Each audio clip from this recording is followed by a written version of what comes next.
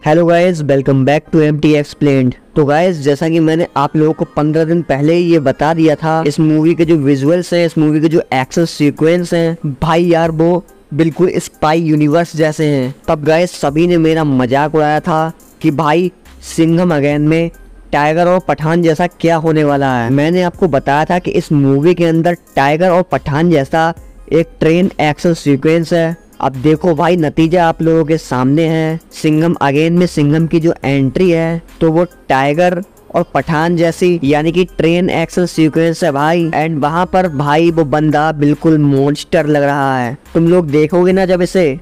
Trailer में दिखाएँ या फिर थिएटर में दिखाएँ तो भाई ऑडियंस पागल हो जाएगी इसमें जो एक्शन सीक्वेंस है उसको देखकर। और इस बार ये लोग पुलिस की यूनिफॉर्म में बहुत कम है। एज अ रॉ एजेंट इन सबको दिखाया गया है। और भाई जो अक्षय कुमार का एक्शन सीक्वेंस है ना, वो श्रीलंका के जंगलों में है। तो भाई अर्जुन कपूर और अजय देवगन जब श्रीलंका के जंगलों में फाइटिंग करेंगे ना भाई, तब ऊपर से आएगा अपना सूर्यवंशी, जहाँ पर पूरा हैवी एरियल एक्शन सीक्वेंस है और अक्षय कुमार को तो आप लोग जानते ही है, भाई, वो हर चीज़ रियल करता है। टाइगर श्रॉफ की entry B MW sports car से मैंने ये आपको पहले ही बता दिया था। भाई, पूरा वो टाइगर प्रिंटेड कार है। हवाई में उनकी एक्शन सीक्वेंस है, जो कि काफ़ी ज़बरदस्त है। और इस सीक्वेंस में टाइगर श्रॉफ कॉप वाली यूनिफॉर्म पहने रहेंगे, यानी कि कॉप वाली जीन्स होगी और टी शर्ट होगी। और भाई गन के साथ ज़बरदस्त एक्शन सीक्वेंस करेंगे। और इस सब के अलावा जो अर्जुन कपूर की डिटेल है तो उनके करेक्टर के बारे में अभी मेरे पास कोई डिटेल नहीं है। उनका जो करेक्टर है, भाई वो सच में बहुत ज़्यादा सीक्रेट रखा गया है। बस इतना पता है